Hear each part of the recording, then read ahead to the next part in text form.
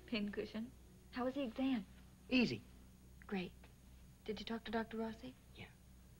You still smiling? I guess that means I'm going to be okay. That lady wins the jackpot. Give her one pink elephant. Give her a kiss.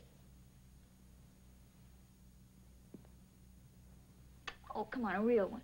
Well, don't get greedy. Hey, Norm, I've been thinking. That's forbidden. No, I'm serious. That's also forbidden. You know, I'm a lot stronger than you think. I'm a lot stronger than Dr. Rossi thinks. So what do you want to do, try out for the Olympics? Sure. How about swimming the English Channel with grease all over you? Yeah. Or maybe running a summer camp with a hundred screaming little kids that you got to take on a hike up every mountain in New England. Don't forget the last bit. That's the bit I'm interested in. Norm, you know I've made up my mind. I want to have a baby. Well, we got plenty of time for that. You know, after you get well. What if I don't get well? Well, that's a dumb remark. I want to have a baby now, just in case. Why don't we wait till there isn't a question of just in case? How long do you think that'll be? Oh, Dr. Rossi said a, a couple of months. You believe him? Sure. I don't. Well, do you know more than Dr. Rossi? I just don't think he's telling me how bad it really is. Oh, Rita. No, no, wait a minute. No, you wait. Look, you said you wanted me to finish college. Okay. Well, you'd have to quit your job and I'd have to quit college. I know I'm being selfish. But I think I have a right to be selfish.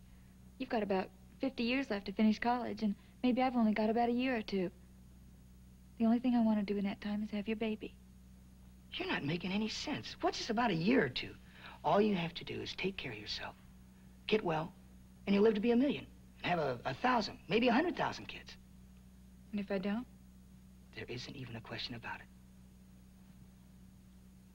Don't lie, Norm.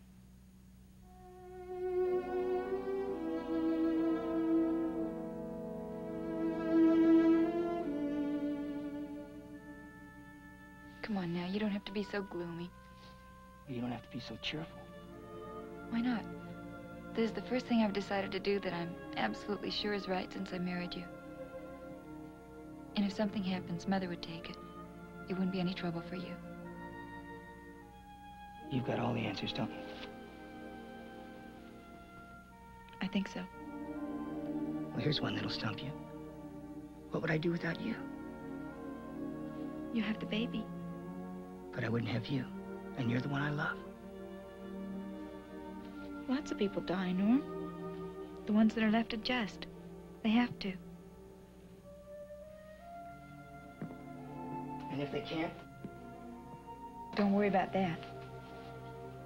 Well? Well, what?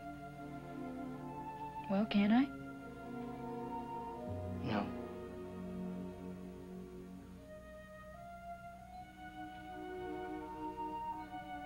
Not until you get better. Norm, you know, if you're a boy, you're a really big deal. If you're captain of the football team or president of the class or something. But it's not the same for a girl. A girl's just sort of nothing until she has a baby. Sort of a second-rate boy. Till she has a baby. Please. You're not playing the game fair. I'm not playing. We'll see. What's that mean?